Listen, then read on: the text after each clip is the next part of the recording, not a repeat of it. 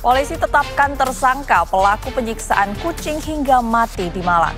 Pelaku nekat memaku kucing lantaran kesal suka buang air sembarangan.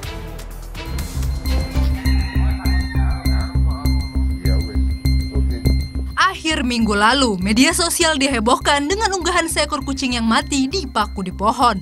Usai lakukan penyelidikan, polisi mengidentifikasi pelaku berinisial IW 40 tahun. Ia merupakan saudara tiri pemilik rumah dan kucing Mira yang juga tinggal serumah. Pelaku Iwe nekat menganiaya kucing karena kesal dengan kucing milik kakaknya yang dianggap nakal sering buang air sembarangan. Saat ini pelaku sudah diperiksa polisi dan ditetapkan tersangka.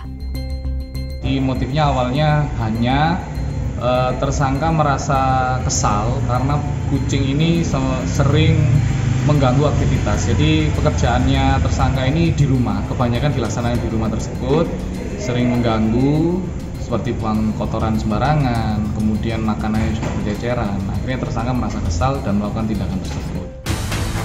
Sebelumnya viral unggahan kaki kucing yang dipaku ke pohon terpisah dengan badannya. Peristiwa keji ini terjadi di perumahan Puncak Permata Sengkaling, Kecamatan Dau, Kabupaten Malang, Jawa Timur. Tutus Sugiarto melaporkan untuk NET.